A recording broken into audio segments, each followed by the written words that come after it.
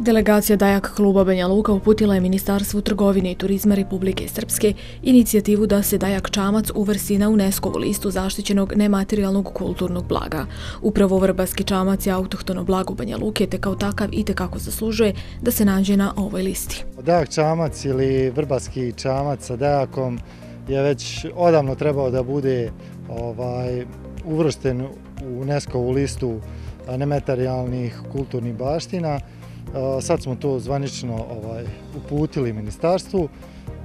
Vidjet ćemo sad dalje korake koje imamo. Kao što znate, Vrbarski čamac je specifičan, autohton, baš za Banja Luku.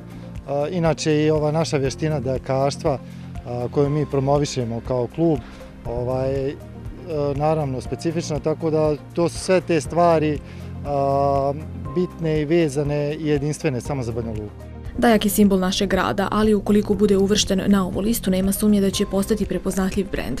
Uz sve to, kada bude izgrađeno pristanište sa ciljem poboljšanja uslova za treniranje ovoj grupi banja lučkih sportista, cijela priča će biti zaokružena u potpunosti. Treba još neke stvari da se poklope da budemo uh, ozbiljan klub uh, i što u suštini zavrednuje jedna vještina, odnosno tradicija kakvu ima Dajak Čamac i Dajak u Banja Luci.